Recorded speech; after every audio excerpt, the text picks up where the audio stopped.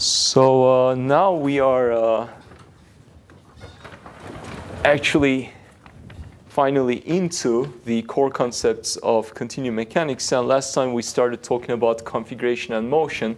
And let me redraw the classical, uh, classical um, picture that we're going to see a lot. And just for one more time, I'm going to also um, draw a body. So remember, the body is a collection of uh, particles so it's really just sort of a, a page which contains a list of these particles. I also assign it some sort of domain, it seems, but really it's just some sort of set. It has no uh, geometrical shape. Uh, but um, if we would like to track the motion of the particles of a body, this is sort of a conceptually nice, and it's certainly a, a, setting that has some advantages and makes certain definitions very clear, you will see. So it's nice to have this body concept. But in practice, what we would like to do is we'd like to have a more practical setting where we can track the motion and deformation of a body uh, easily. So instead of referring to the particles of the body with labels uh, m, let's say, what we do is we associate uh, with each particle at a given time, let's say initial time, um, we associate a position and we call that position um, capital X. And this capital X is with respect to some observer uh, that is appropriately chosen. And if I do this for every particle in the body, what I will obtain is a geometrical um, uh, let me say, uh, assignment to this abstract concept. And this is called A configuration. Um, and this is in particular the reference configuration. The reference configuration does not depend on time. At a given time, for us, or it doesn't have to even correspond to some uh, geometrical or spatial uh, region that the body occupied at any given time, but for us, often it will be the initial configuration of the object in particular for solid materials. And so this configuration will not depend on time, and that's something we have to keep in mind. So this position vector is independent of time. This is, there's a one-to-one -one correspondence between every capital X and the particles of the body. So of course, afterwards, what's going to happen is uh, these particles are going to move, and they are going to occupy a new position in space and we can call these small x. And these small x, these, these, these vectors point at a point in the Euclidean vector space. So at a given time, this particle happens to be here, but a little bit time later, this particle is going to move on and occupy a different position. Okay? So if you want to track the particle, you have to track it with a motion function that for a given particle referential position at any given time, it gives you the current position. And at a given time, it happens to overlap with a position vector small x in the Euclidean uh, vector space. Okay, and if you do this, if you do this tracking for all the particles of the body, then you will obtain the new geometrical shape of the body. So this is in particular the motion map that we are interested in. So when I say the motion, this is the vectorial function that I'm really referring to. But on the, um, on the background, there are two other ones. One of them is this. So at a given reference time for the given particle, it gives you the referential position. Or you may want to track the motion of the particles directly in terms of the particle labels. That's an alternative and then we could perhaps write something like this. Okay? But the reference and the time-wise evolving configuration, the spatial or the current configuration is what we are interested in. So these are the two configurations that I'm going to draw again and again. Okay, and what we talked about also is that we like to keep track of what belongs to the ref or what lives in the referential configuration or what lives in the current spatial configuration. And for that, we prefer to use two different sets of basis vectors that explicitly denote the configuration to which a vectorial entity uh, belongs to. Okay? So capital EA have to do with the referential and small ei have to do with the current or spatial um, configuration. Okay. Um, so then when I talk about the velocity, what I understand is that I want to talk about the velocity of a material point, and I have the motion map. And what I really want to do is I want to keep the particle fixed. So for the same particle, I keep track of rate of change of position with time. So it's sort of a partial derivative uh, while keeping the particle label fixed, and that gives me what the velocity is. So this is where, for instance, um, the existence of this body concept is useful. It clarifies, it makes, states very clearly what we mean by this operation. But now, in practice, what you can also do is you can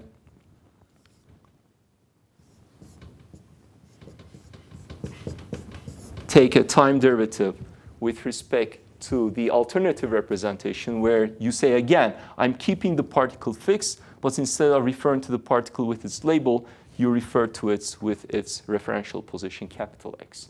Really, they will eventually give you the same thing. Okay, so now this, well, that's one shot. I've given a short review, and additionally, I've sort of mentioned or uh, restated the existence of these multiple um, representations of a function. In this case, a particular one, the motion function. Okay? But this kind of representation, alternative representations, exists actually for, in principle, any function.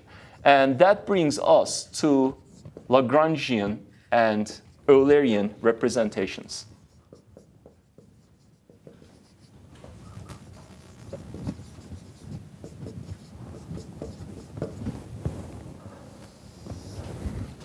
Okay, so let me give you a very uh, um, simple example to highlight the importance of being careful with the representation of a function. So the very simple example is a function f. And I'd like to write this as a function of some variable x, and that function is 2x squared. Okay. Um, so the function it's eventually perhaps a physical entity, so it will have a physical value. Let's say at a given position, and the position in this case, let's say, is in terms of uh, some units that are indicated with uh, x. Okay, so these are our coordinates with respect to some units. And at a given position, I have a, let's say, a certain temperature, right? So this is physical. It has, at a given point, a certain value. But now, that value, function-wise, is represented like this if the coordinates with respect to a certain unit system is expressed with x, and therefore the function, it turns out, is like this. Okay? So now if I change my unit system, it's still going to give me the coordinates, but it's going to give me the coordinates in terms of a different variable because the units are now different. And now let me say that the change of uh, units is such that I'm making up or the change of variables simply is simply I define a new variable y, and that's equal to x squared. And now I would like to write f as a function of this new coordinate. Now what I like to do is I'd like to explicitly highlight that now this alternative representation is in terms of not x, but rather y. To highlight that, I'm going to use a different notation on the function. So this represents with respect to which variable I'm writing the function. And so if I make this change of variables, I will have 2y. Now, it's just very conceptual at this stage, but immediately it has a um, practical implication. And the practical implication is the following. Suppose I would like to evaluate the function. In other words, let's say the temperature at a given point. And you're saying that my coordinates, for instance, are uh, given in terms of x, and x is equal to 2. Okay? So you go ahead and you substitute f hat equals x at 2 to x equal to 8, right? It's equal to 8. Now, on the other hand, if you would like to work in terms of y, what you have to do is into f hat, you don't also plug in 2, but rather it's a function of variable y. So you go ahead, make your change of variables, and you plug in 4. And then, of course, it will still give you 2, 4 equals 8 because a function has a physical value, and that value has to be captured with, sorry, with one or the other representation.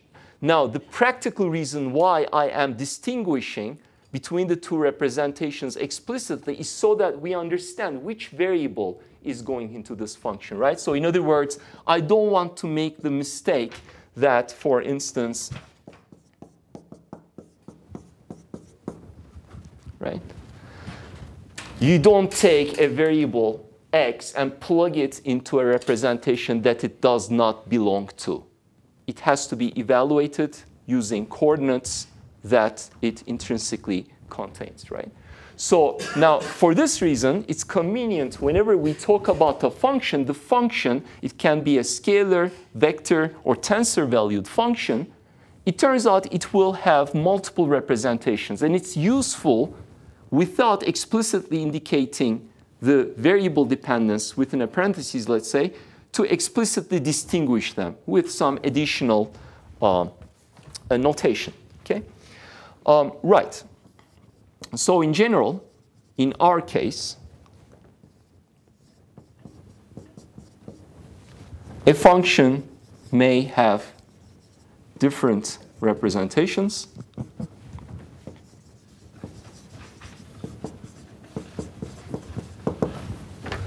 Um, remember that in the end, the function has, at a given point, um, at a given time, a certain value. It's going to correspond to some physical entity. What changes is your expression of that function. And the fundamental expression is in terms of the labels of the particles, so using the body concept.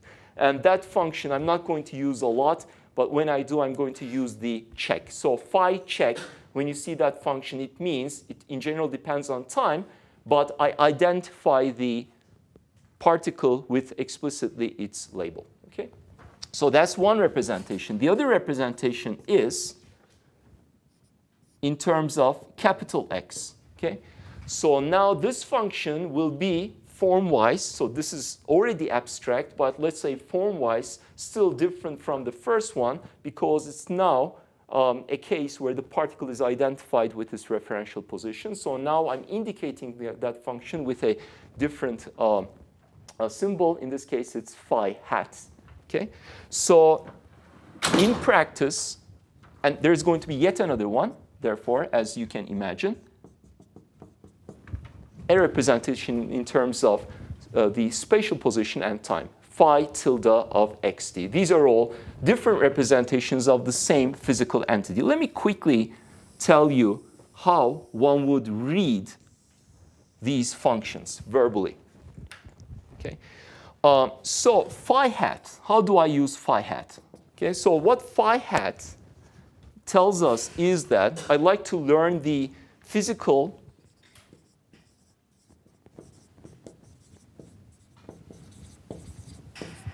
value of this function phi.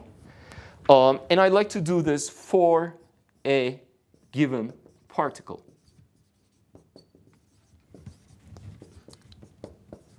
goes without saying at a given time. Okay? The time is the variable that's common to all of them. Okay, I'm not going to write that explicitly. So that's what phi hat does. You give me the label of the particle, I plug it into this function, and this function for that particle, particular uh, particle m at a given time will give me the value of phi. Okay? The second representation is phi hat. Phi hat um, will tell us, so Imagine I repeat all of this once again. So when I put these, I mean I'm recording. We record the value of phi for a given particle m. Okay? But the m is not what goes into the function. What goes into the function is capital X. So we want to record the value of phi for a given particle m that is associated with the referential position x. Okay? That is associated or labeled, if you like, with capital X. And now the last one is again slightly different. Again, we'd like to do the same thing. We'd like to record the value of phi for a given particle m but we know that a given particle at different times will occupy different positions, small x. So when I choose x, really what I'm doing is I'm recording the value of phi for a particle m that happens to be at the spatial position x at that given time. Because a little bit time later, there's going to be a different particle there. If I want to track the same particle, it's going to move to a different position, right? Conceptually, there's a slight difference. So that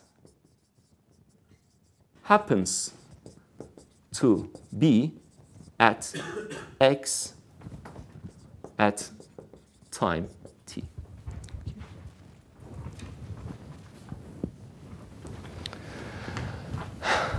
Or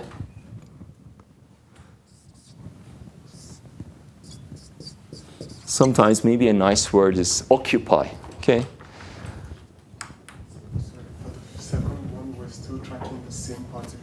it's, Right. So, so um, right. So the first two give you, you want to talk about a particle, um, then it's easily identified with its label or its referential position. You plug them into these, either one of these representations will give you the value of phi for that given particle at a given time. This one is a bit more tricky.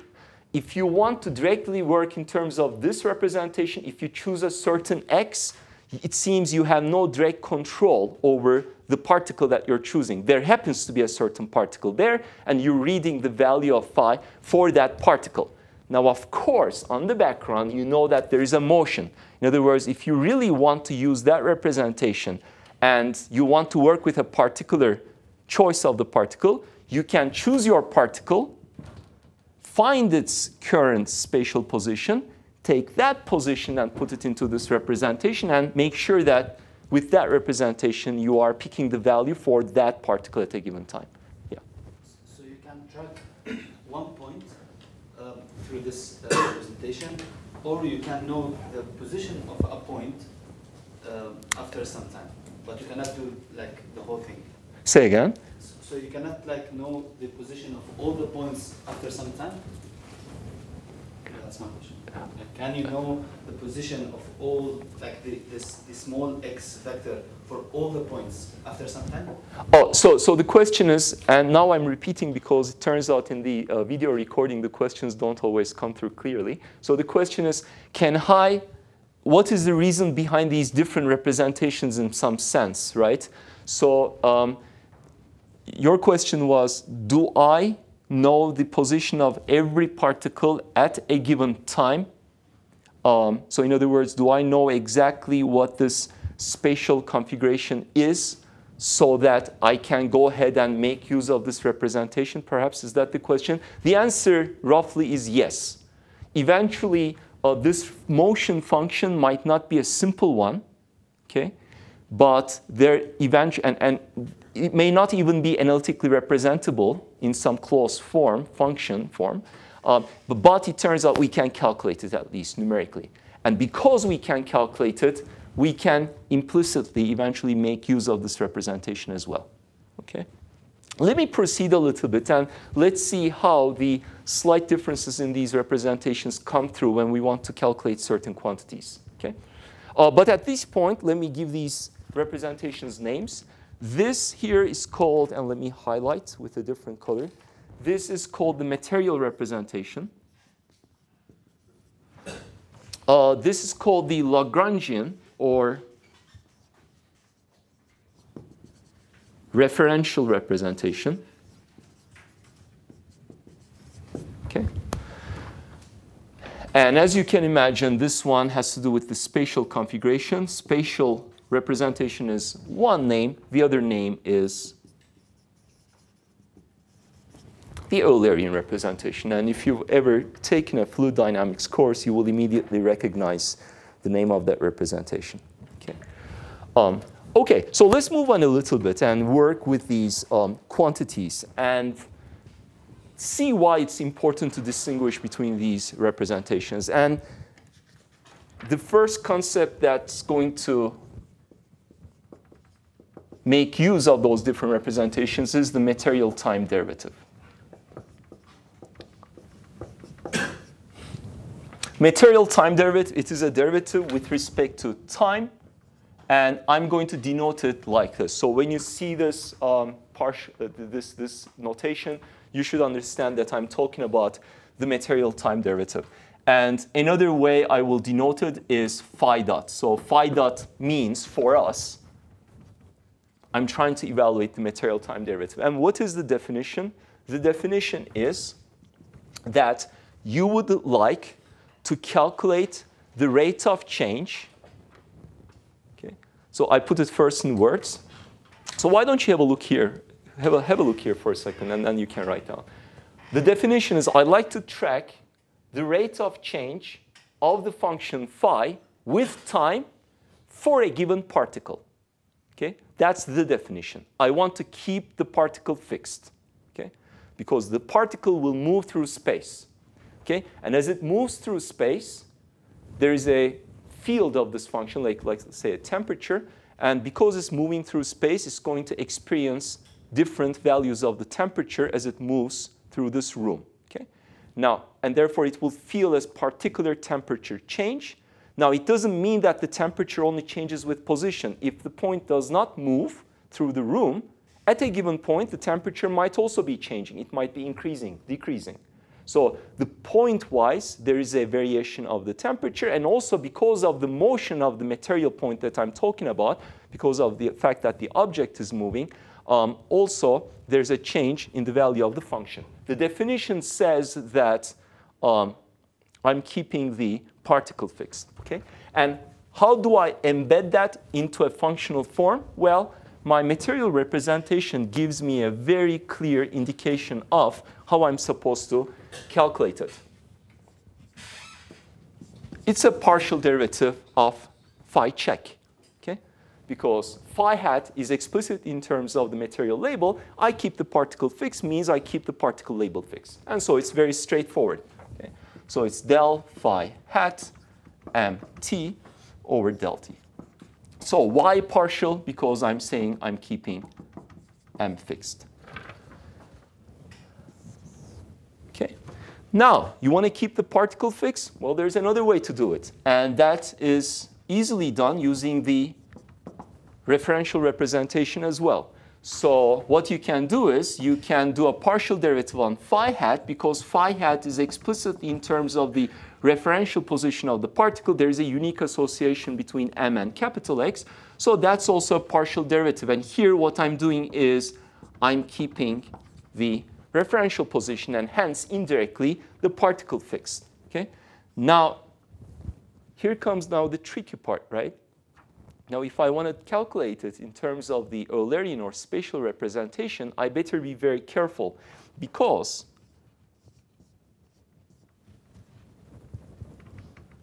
Let's do it explicitly like this.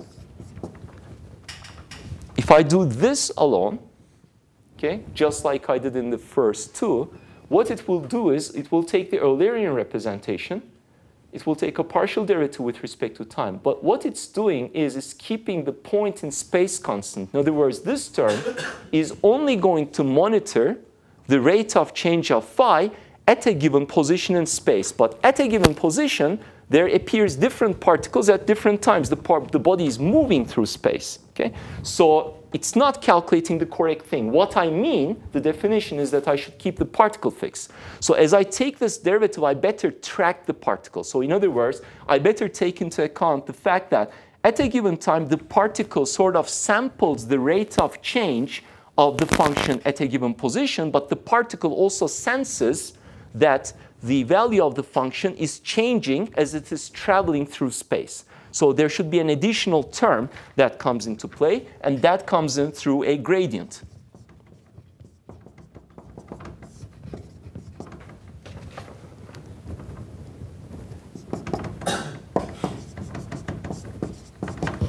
Okay?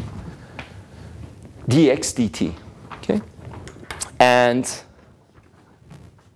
this I will simply refer to as del phi tilde del t.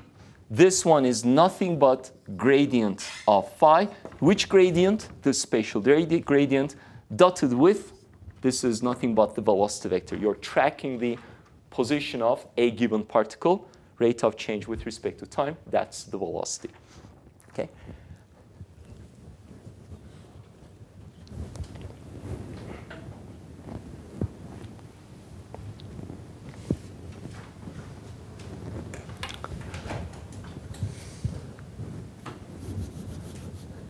Now notice that this is actually nothing but the absolute time derivative with respect to time. It's actually not too fancy. Now when I put it into words, it's important that we, we that we interpret what we're calculating correctly, the individual contributions. But math-wise, it's really straightforward, right? So I have a function, okay? It's represented in terms of two variables. But now let us think for a second that I rewrite this function as follows. It is phi tilde of x of t. Now, I haven't yet made any change of variables, so I'm just going to write the representation for x in there. x, if I want to keep tracking the same particle, if that is my goal, instead of x, I'm going to put in the motion function in terms of the referential position, let's say, and time. Okay? So now, if you would like to calculate the absolute time derivative of phi tilde, you have to take first a derivative with respect to the absolute, the explicit appearance of time. This part. And that's what the first term does. But then you realize that the first argument of the function also depends implicitly on time. And therefore, you have to take the derivative of this function with respect to this variable, the first argument, dotted with the rate of change of that argument with respect to the variable with respect to which you're taking the absolute derivative. That's nothing but uh, the absolute time derivative in that sense. Okay?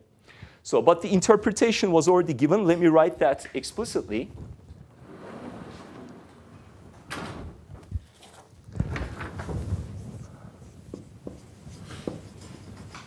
So in summary, we have um, phi dot, and now we know what we mean by it. So it's the material time derivative. And if you'd like to calculate it in practice, perhaps this is one form that you would prefer, the referential form. And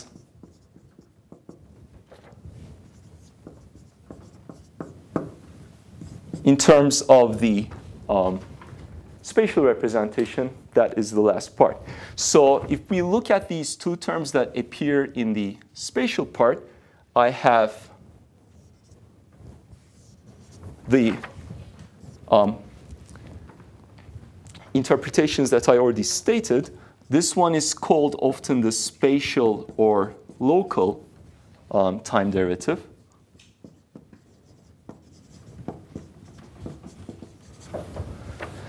And this one is called the convective time derivative or rate of change, let's say.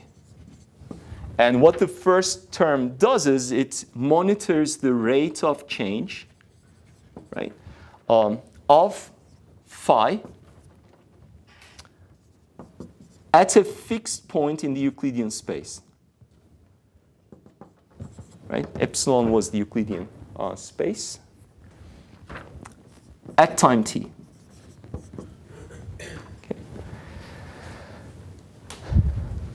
And the second term is monitoring the rate of change of the function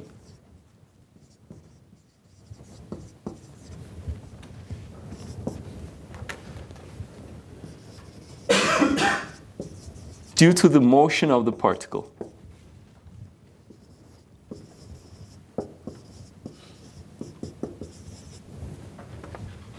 Which happens to occupy um,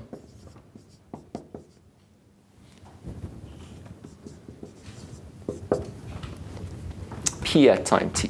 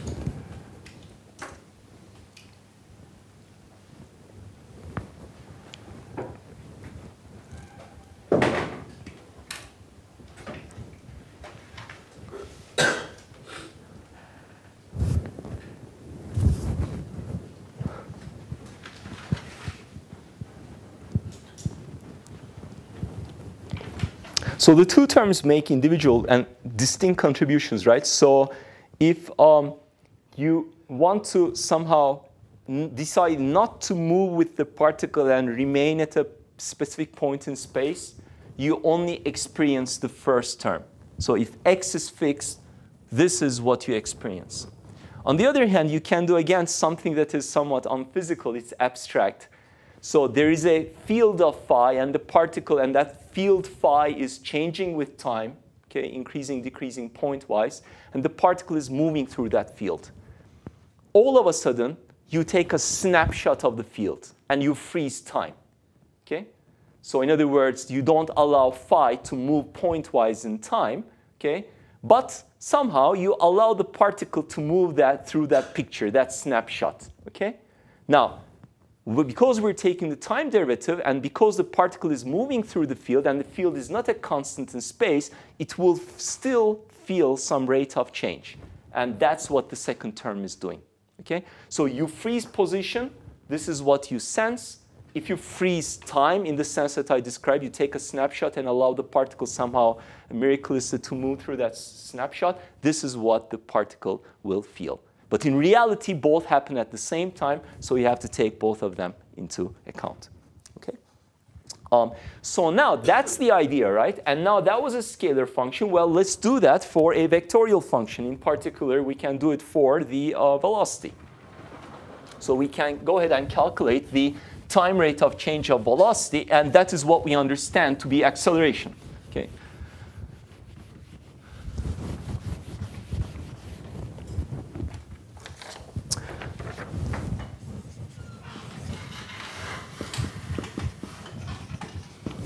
So the acceleration is the material time derivative of the velocity.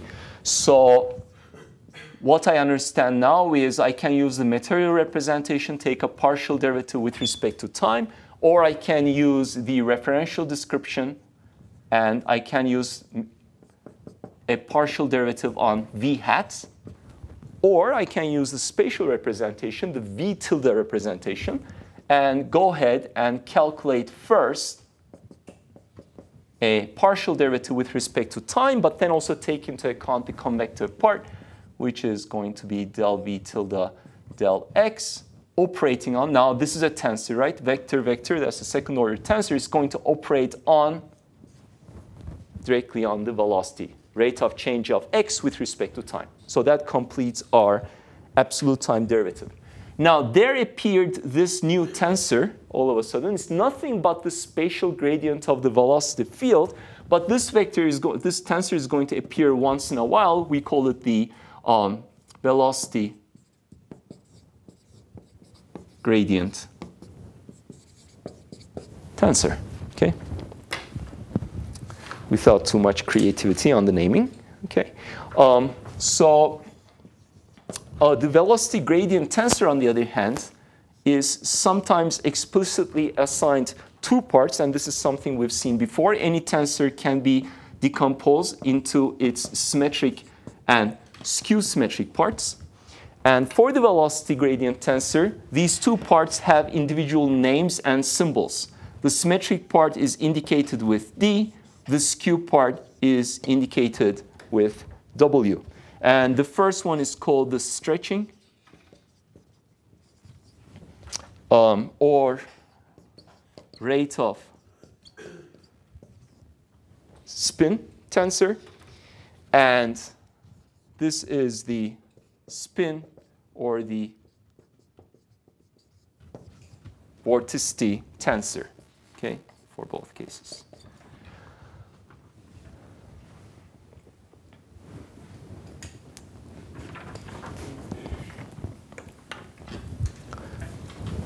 You don't necessarily have to remember the names, but the symbols are quite uh, commonly used. So the velocity gradient tensor is decomposed into d plus w. Okay?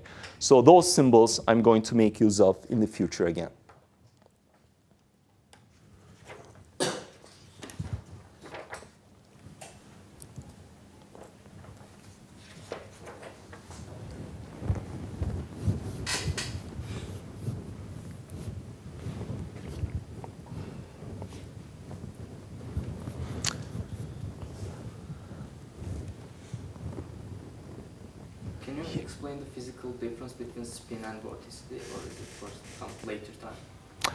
Think we'll see examples later.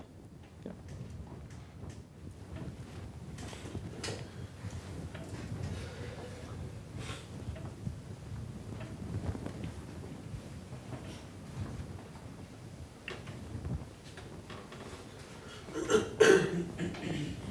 Questions?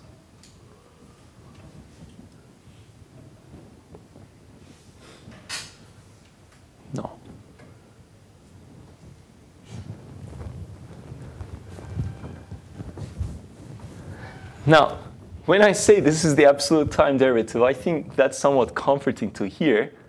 Uh, when I put it into words, maybe it's a little bit confusing. Um, so to sort of make you think a little bit more, I'm going to dwell on that, on those representations a little bit more, okay? Just to highlight the differences, the nuances between them. Um, and I'd like to do that with a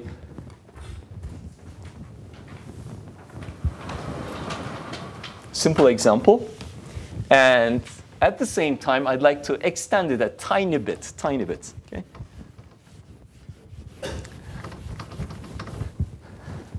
Okay, it's an example that I like. And uh,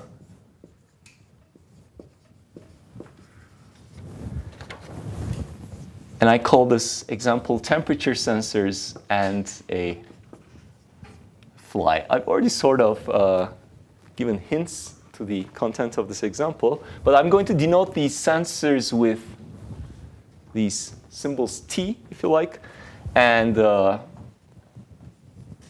that's my fly. Okay, so we have a room, and in this room, the the fly will move, and the fly is going to sense a temperature change. And I'm interested, now why don't you not write for a while and then you can complete it? It's not much anyway. Um, and what I'm interested in is explicitly the temperature field that the fly experiences and how fast it changes. Okay? So in this case, the fly would be my particle, and I'm interested in the material time derivative of the temperature with respect to the motion of this fly. In other words, uh, the fly is going to be my particle, okay, that I'm trying to keep fixed. It can move in 3D, let me denote the domain in 1D. So I have the domain, which is, let's say, the room. And that's my coordinate x. And the fly is moving through that room with some velocity. Okay? And the velocity of the fly is v. That's the material uh, velocity of that point. And the fly experiences a physical value of the temperature, let's say, right? And that is phi.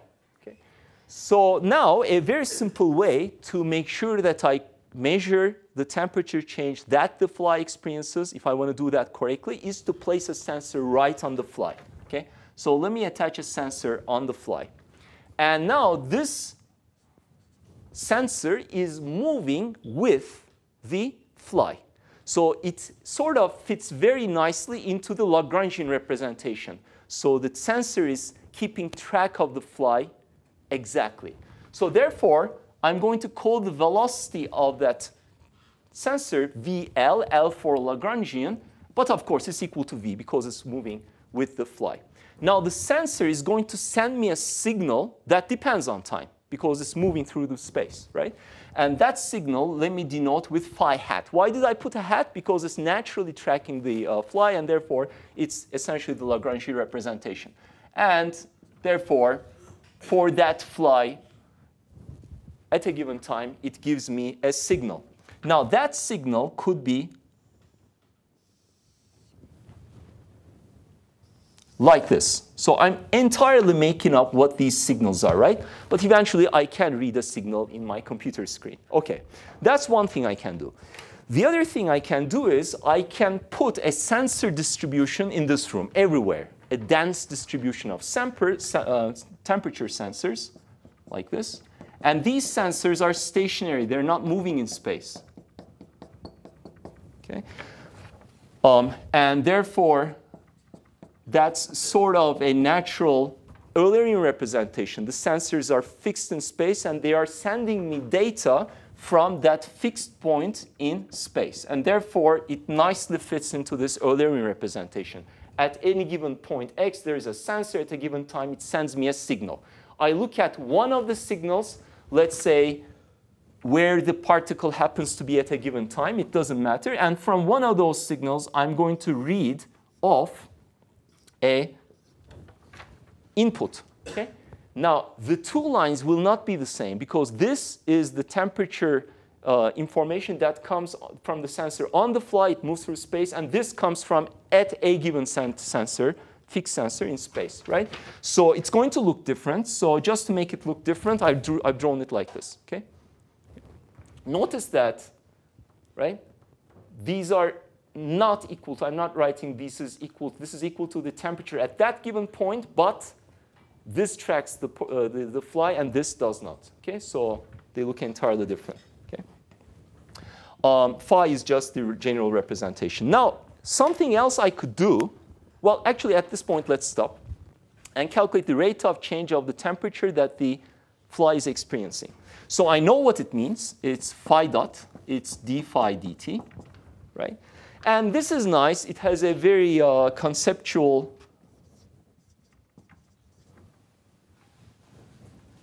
role. It reminds us what we're trying to do. I'm trying to calculate the rate of change of this field, keeping the fly fixed. OK. Now, I want to do it in terms of the information that comes from the sensors. Okay? And I want to use this red sensor. Well, the red sensor is already tracking the particle. So if I'd like to do it in terms of the input from the red sensor, all I need to do is take the partial time derivative of phi hat. That's it. That's a precisely equal to phi dot. Okay? Um, now, on the other hand, if I like to do it in terms of the information from the blue sensors, and remember, there isn't only one, but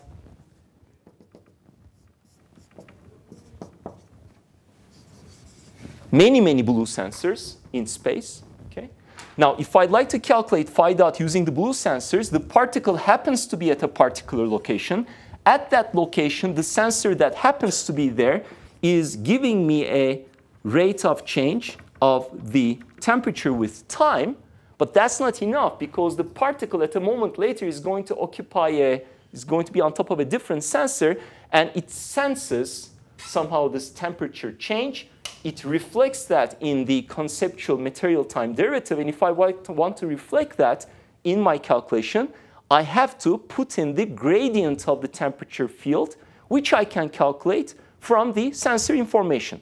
Okay? And therefore, I go ahead and take the gradient of the temperature field from the temperature, uh, the sensor distribution, and multiply it with the velocity.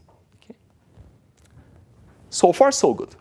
Now, what if I do something fancy and I allow the sensors to move? The sensor, there can be only one sensor that tracks the fly. There can be many, many fixed sensors. They are not moving. Or now what I can have is that the, the sensors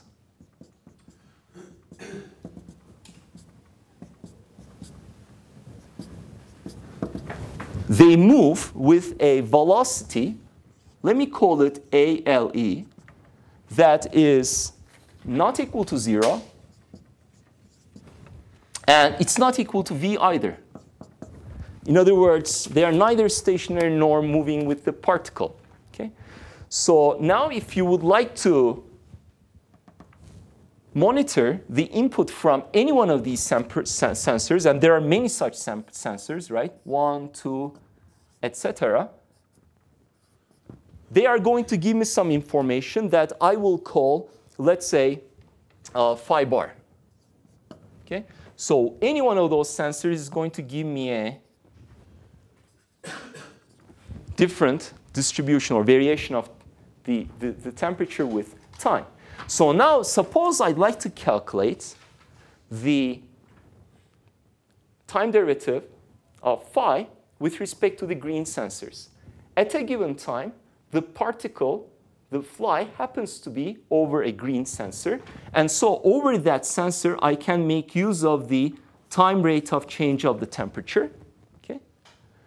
And then I'd like to take into, the, the, take into account the fact that the fly is moving relatively in general with respect to these green sensors. Okay? And therefore, there is a mismatch between the velocity of the sensors and the velocity of the particle. Here, the sensor and fly velocity, they, there is no mismatch. Here, there is a perfect mismatch in the sense that difference is exactly v. Here, the difference is neither v nor 0. And so I'm going to go ahead and plug in the difference, the mismatch. Here I forgot a dot. The mismatch in the velocity between the sensors and that of the fly. Okay? Okay, so does it make sense? Well, we can check. If the velocity of the sensor is equal to the velocity of the fly, the green sensors are like the red sensor. This becomes zero, I fall back to the red, red representation. If the sensors are not moving, they have zero velocity, the green sensors are like the blue sensor, I fall back to that representation. But in general, the sensors can move independently from the fly, and therefore um, there is an additional term here that is neither like this nor zero. But in the end, using any one of these sensor setups, you can actually calculate precisely what the rate of the temperature that the fly is ex experiencing is. Okay? So, so, so, so that's the example, right? So this sort of puts together uh, different concepts and extends it a little bit. And now you notice that I have assigned an arbitrary velocity to the particle. It's neither Lagrangian or Eulerian. Okay? I'm sorry, the other way, neither Lagrangian nor Eulerian. And this is called arbitrary Lagrangian Eulerian, an arbitrary velocity, somewhere in between the two.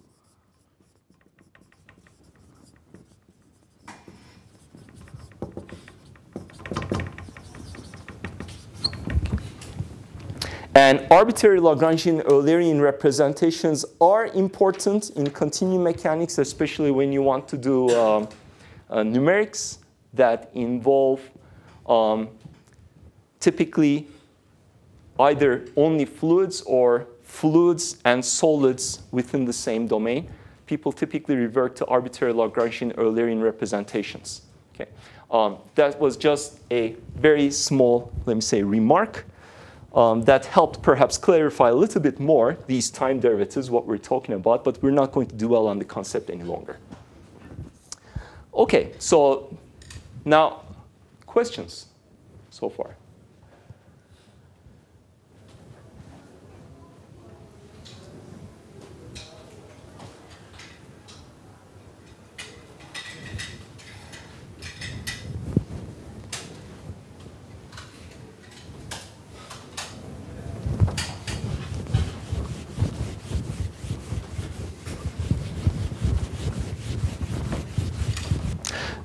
So, so, in practice, these different fields, these velocities coming through your, um, if, you, if you, you typically have some sort of a grid in numerical analysis, for instance, and then you have choices. Is the grid stationary in space? In fluids, typically it is.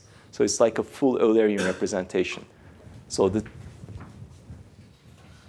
your sensors are like your, your grid. And the grid doesn't move. It's Eulerian or the grid deforms with the domain that you're trying to analyze. That's a very typical situation in solids. So it's fully Lagrangian. Or the grid can move independently of either one. It's neither stationary nor moving with the object, and that's a ALE grid. Okay? So that's how it comes in through, um, through practice, in practice.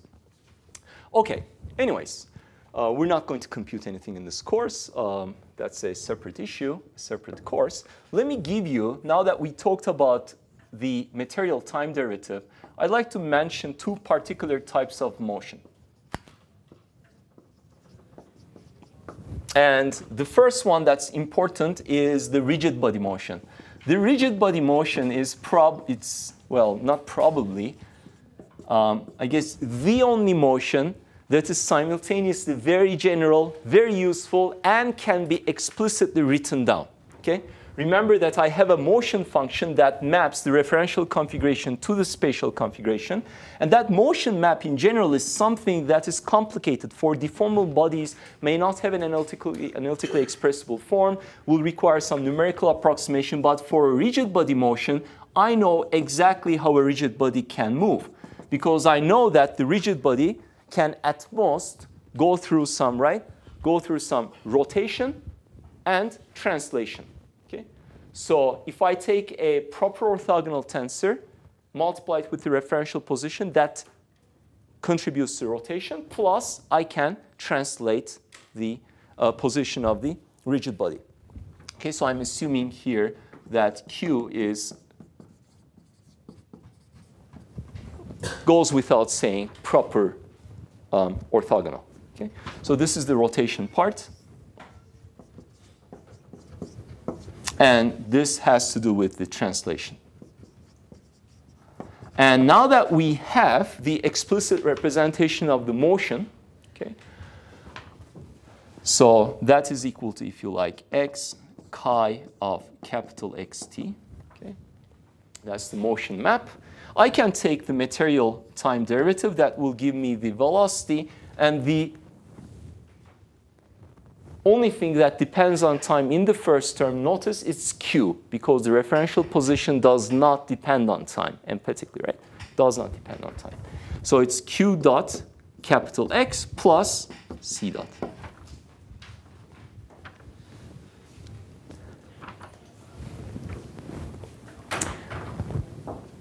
In the first application topic, after, after we're done with part one of the course, when we move to part two, the first application is dynamics, where we're going to look at rigid body motion and um, its, let's say, implications.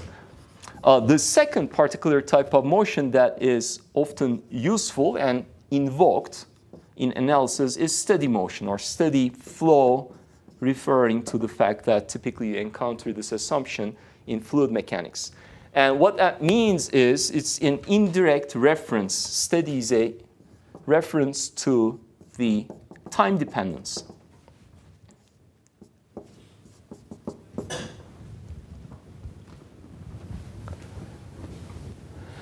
And what it means is that at a particular spatial location, the field that you're looking at is not going to depend on time. Okay? That's what steady means.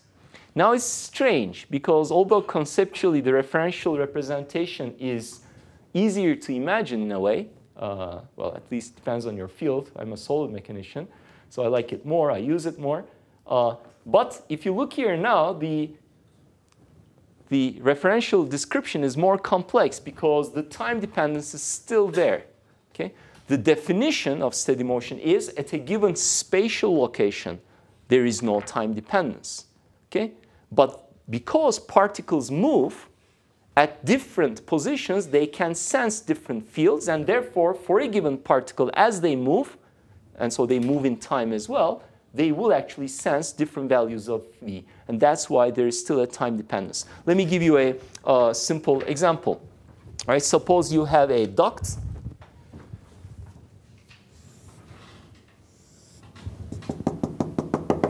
And in this duct, there is a fluid and the fluid is flowing. And I'm going to say that the flow is steady. Okay? So there is a, well, the velocity in, inlet velocity is probably not a constant, but let's say it's a constant. So it's a small value here, and it's going to be a large value there. If I assume that this is some fluid like water, it's not compressible, right? The um, volume that comes in, rate of rate of volume of fluid that comes in has to be preserved, has to be equal to what goes out. So the velocity has to be larger at the outlet.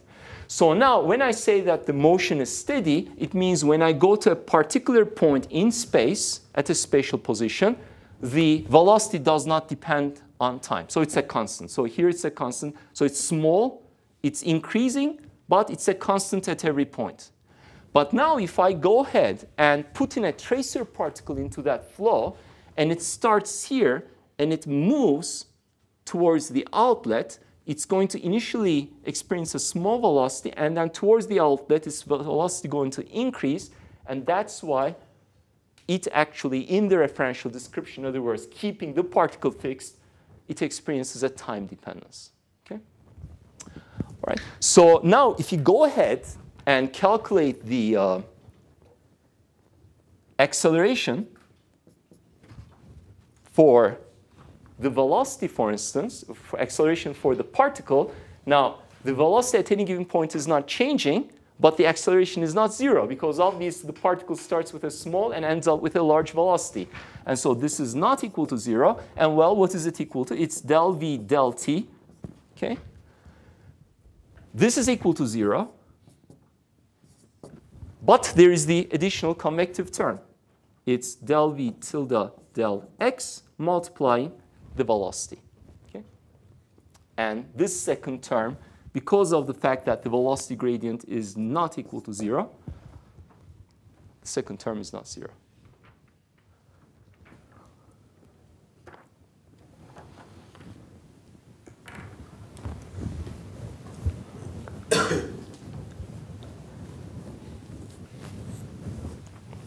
In general, of course, the flow is not steady. In general, it's unsteady.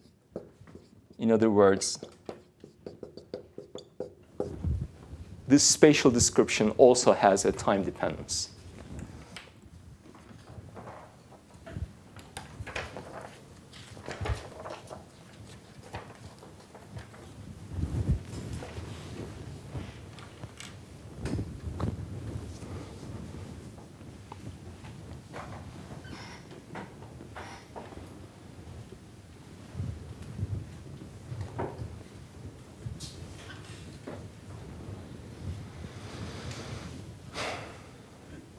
Questions?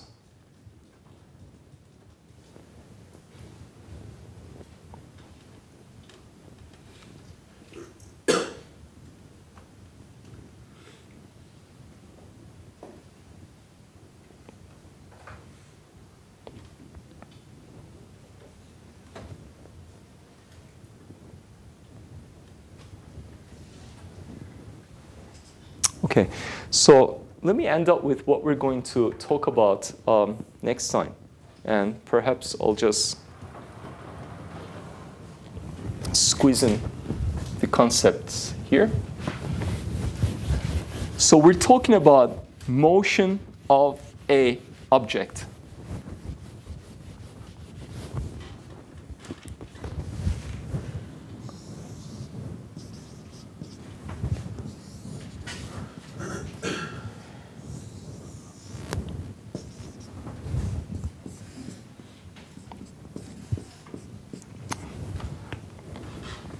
I'm assuming that the uh, motion map is a given. I know what the motion map is, right? Um, and therefore, I know precisely what every, where every point is moving to. Right? So this point, let's say, moves there. Okay? And there could be a point over here which could move here. Okay? So initially, the two points were far apart and the motion took them close to one another. Or it could have been the reverse. They could have moved apart from each other. So then what's going to happen, as you can imagine, is that the body, if you draw a line on the body, this line is going to get longer or shorter. And not only does that happen, but also that line that connects these two things is going to also probably going to rotate. And if this line is long enough, then perhaps the points move like this, it's going to even get a strange shape. It's not going to remain as a line anymore. If I had marked, if I had taken that object and I had drawn a small rectangle on its surface instead of a line somewhere in the body, that rectangle that I've drawn on the surface is also likewise going to deform because every point is going to move to a new location and that patch of green is going to look different. Okay? Or somehow if I could put some tracers within the volume and mark it with, let's say, a cube, that cube will grow larger or smaller. And if it's a large cube, let's say it's going to deform into some strange shape. Okay?